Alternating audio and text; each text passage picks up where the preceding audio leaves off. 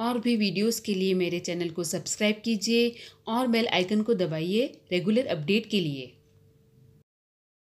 Hello friends, Jai Shri Krishna. Welcome to my channel cooking master के P मेरे kitchen में आपका दिल से स्वागत है।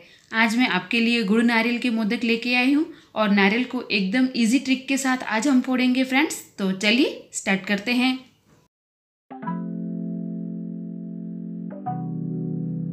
सबसे पहले फ्रेंड्स हम एक नारियल ले लेंगे इस प्रकार से, और इस नारियल को मैंने छील लिया है, ऊपर के जो रेसे छिलके रहते हैं उसे निकाल दिया है। अब हम एक स्क्रू ड्राइवर से उसकी ये जो तीन आँख रहती है, उसमें से छेद कर लेंगे। ये एक बहुत कमज़ोर होती है, ये देखिए फ्रेंड्स इजीली छेद हो गया ये। ये देखिए आपके सामने, ये पूरा अंदर गया।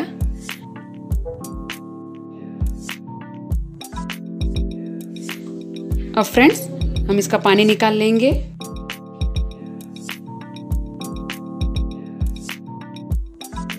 सारा पानी निकालने के बाद फ्रेंड्स, अब मैंने गैस ऑन कर दिया है और नारियल को इस प्रकार से घुमाते हुए हम अच्छे से सेक लेंगे। गैस की फ्लेम को मैं फुल कर देती हूँ। ये देखिए फ्रेंड्स, नारियल का पानी आप ऐसे ही पी लीजिए, वो बहुत ही हेल्दी होता है।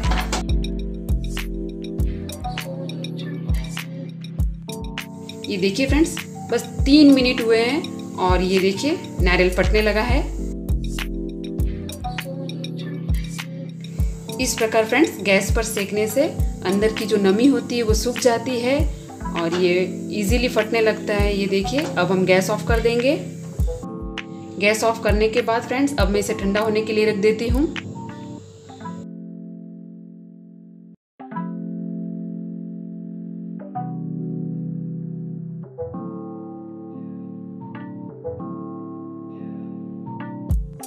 तो इस प्रकार से फ्रेंड्स नारियल को गर्म करने पर उसके सारे पीसेस इजीली निकल जाते हैं।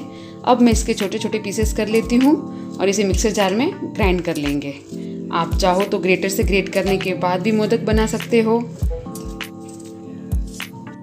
तो ये देखिए फ्रेंड्स इस प्रकार से हमें ग्राइंड कर लेना है। मिक्सर को रोक रोक के चलाए फ्रेंड्स वरना इसमें से जूस निकल आएगा।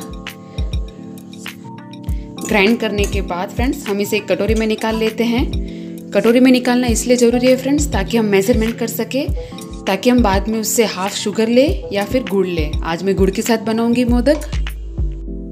गैस पर मैंने कढ़ाई रख दी है फ्रेंड्स ग्राइंड किए हुए नारियल को डाल देंगे। स्लो फ्लेम पर फ्रेंड्स हम इसे भून लेंगे। बिना घी डाले। नारियल में अपना ही ऑयल ज़्यादा रहता है, इसलिए इसमें घी डालने की ज़रूरत नहीं है। गैस की फ्लेम स्लो ही रखना है फ्रेंड्स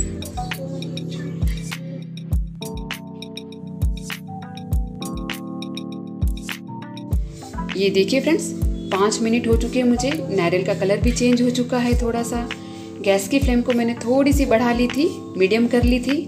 और ये देखिए, इस प्रकार से ये सूखा सूखा हो जाएगा नारियल, तब हमें इसमें चीनी या गुड़ ऐड कर देना है। पहले नारियल गीला गीला रहता है, उसे थोड़ी देर भूनने के बाद जब वो इस प्रकार से हो जाए सूखा सूखा तब हमें उसमें गुड़ या चीनी ऐड कर देनी है। मैं गुड़ ऐड कर रही हूँ हाफ़ कटोरी गुड़ लिया था मैंने।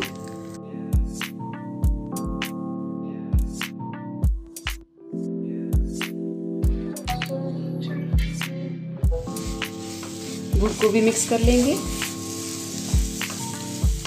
अब फ्रेंड्स मैंने फ्लेम को स्लो कर दिया है।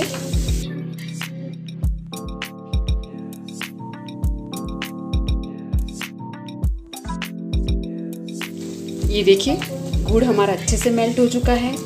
अब हम गैस की फ्लेम ऑफ़ कर देंगे और इसे इस प्रकार से चलाकर ठंडा कर लेना है। या तो आप दूसरे बाउल में निकाल लीजिए इसे और थोड़ा सा ठंडा कर लीजिए। अब ये देखिए फ्रेंड्स ये हल्का हल्का गर्म है, पूरा ठंडा नहीं हुआ है। अब हम मोदक मोल्ड ले लेंगे। मोदक मोल्ड को मैंने घी से ग्रीस कर लिया है। इसे बंद करके थोड़ा सा बैटर को इस प्रकार से दबाएँगे और अंदर भरेंगे। अंदर भी फ्रेंड्स हमें दबा कर ही भरना है, चारों तरफ़ से, ताकि ये अपना शेप ले ले अच्छे से। यदि फ्रेंड्स आप इसे चीनी के साथ बनाओ तो चीनी को पीस कर ही डाले, या तो फिर शक्कर का बुरा ले ले। और ये देखिए, अब हम इसे धीरे से खोल लेंगे।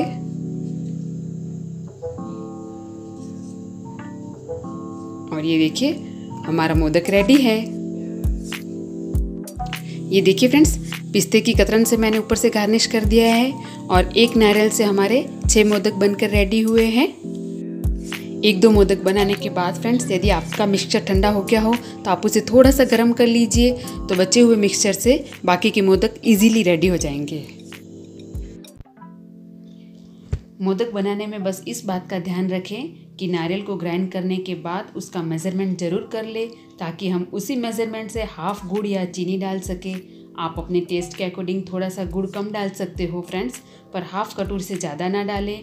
आपको मेरा ये वीडियो पसंद आया तो प्लीज़ मेरे वीडियो को लाइक कीजिए और मेरे चैनल को सब्सक्राइब कीजिए। तो मिलते हैं हम अपने नेक्स्ट वीडियो में। तब तक के लिए बाय